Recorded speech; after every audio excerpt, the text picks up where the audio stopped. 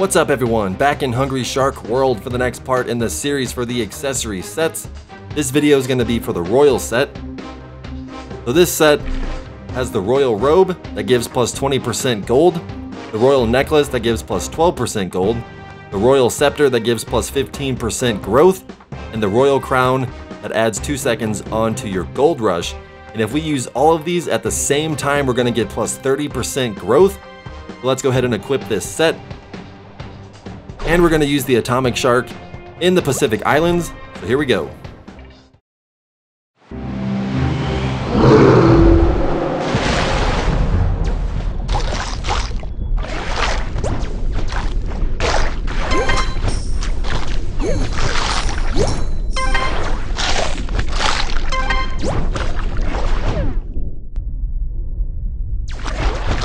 Yeah.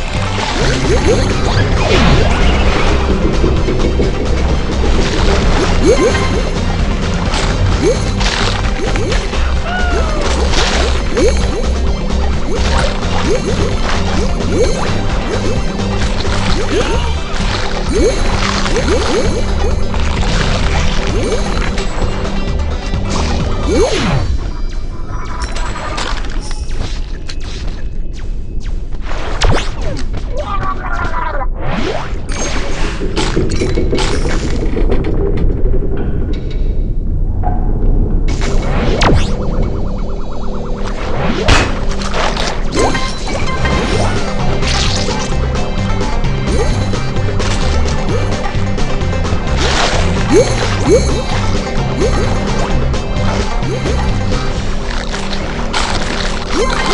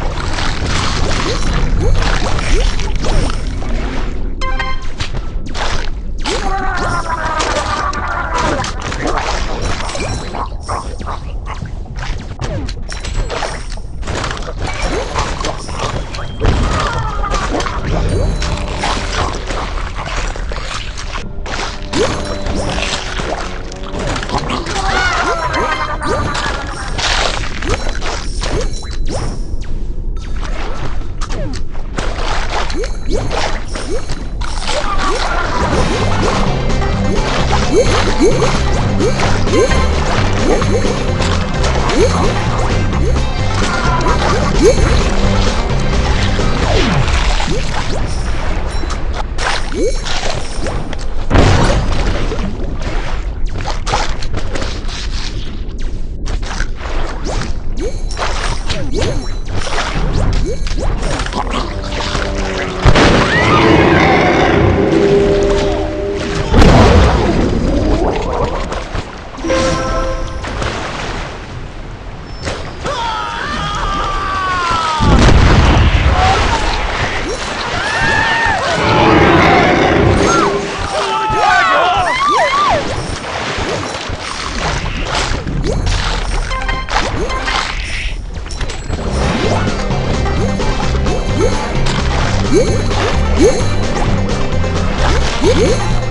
Huh?